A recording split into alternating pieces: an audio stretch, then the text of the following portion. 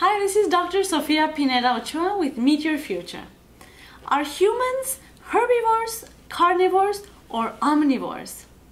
It's very important for a given animal to eat what they are physiologically and anatomically designed to eat to improve the chances of survival and health. So what are humans designed to eat? When looking at a species to determine what they are in terms of carnivore, omnivore, or herbivore, we can look at their behavior or we can look at their biology. From a behavioral standpoint, humans behave as omnivores because we observe many humans in their behavior eating a wide variety of both animal and plant-based foods. Biologically, however, from a physiologic and anatomic standpoint, it's a different story. Dr. William C. Roberts from the National Institutes of Health and Baylor University, who is the editor-in-chief of the American Journal of Cardiology and one of the most prominent cardiologists in the world, with over 1,500 publications in peer-reviewed medical journals, summarized our answer very nicely. He wrote, Although most of us conduct our lives as omnivores, in that we eat flesh as well as vegetables and fruits, human beings have characteristics of herbivores, not carnivores. The appendages of carnivores are claws, those of herbivores are hands or hooves. The teeth of carnivores are sharp, those of herbivores are mainly flat for grinding. The intestinal tract of carnivores is short, three times body length, that of herbivores is long, 12 times body length. Body cooling of carnivores is done by panting, herbivores by sweating. Carnivores drink, drink fluids by lapping, herbivores by sipping. Carnivores produce their own vitamin C, whereas herbivores obtain it from their diet. Thus, humans have characteristics of herbivores, not carnivores. That's right, humans have characteristics of herbivores not carnivores or omnivores, because omnivores, like bears and raccoons, actually retain most of the carnivorous characteristics, so that they are still able to digest and hunt their prey and do so effectively. Although we behave like omnivores, our digestive system actually resembles that of the chimpanzees and other great apes who eat mostly plants. The percentage of animal foods that chimpanzees do eat is very low, if any, about 2 to 3%, and mainly termites and other insects. Regarding the gastrointestinal system, humans like herbivores have a relatively smaller opening of the oral cavity compared to the head size. Carnivores have a wide mouth in relation to the head size, and their jaw joint is a hinge joint, very strong and stable, lying in the same plane of the teeth the lower jaw of a carnivore doesn't move forward and there's very limited side-to-side -side motion. Like herbivores, our jaw joint is positioned above the level of the teeth and because it has an expanded angle, the lower jaw has more sideways motion and more lateral and complex motion for chewing plant foods.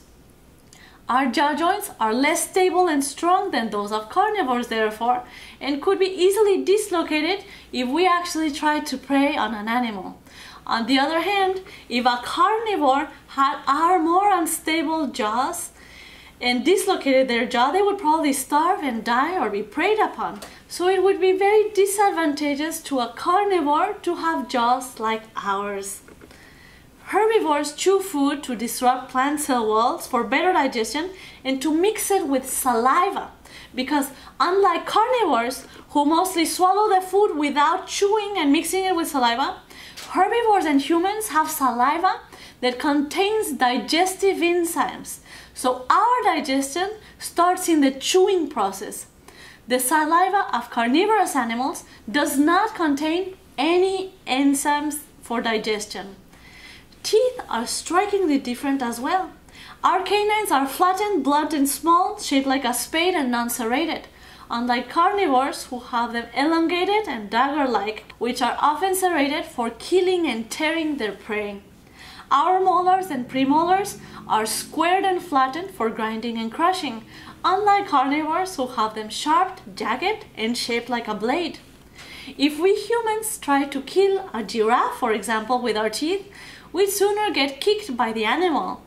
Or if we successfully snuck up and actually tried to really bite into the live animal, it could easily result in some of our teeth falling out or our jaw dislocating. We would for sure end up with a very annoyed giraffe, but not a dead one to prey upon. And onto the stomach.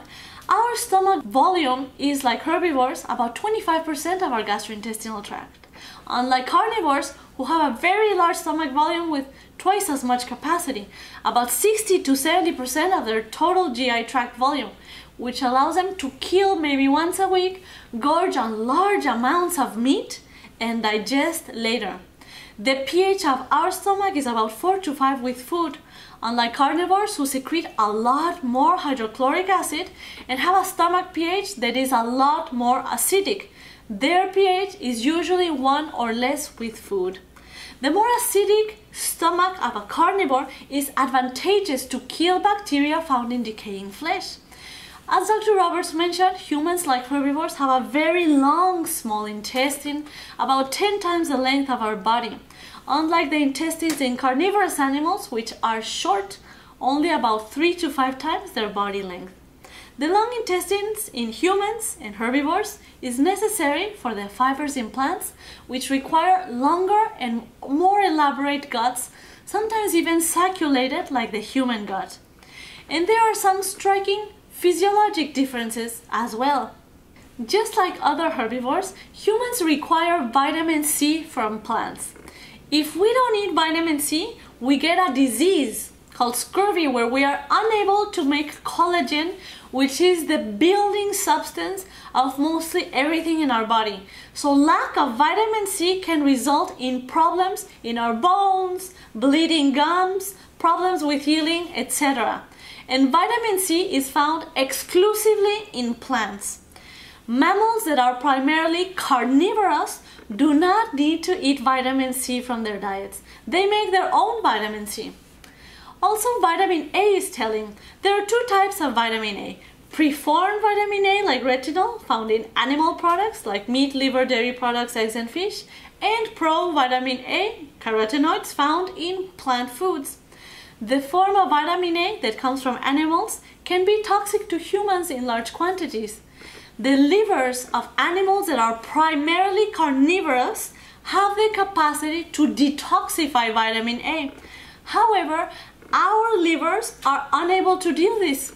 In this paper published in the American Journal of Clinical Nutrition, scientists expressed concern that excess of the vitamin A form that comes from animals is not always identified and can cause serious problems.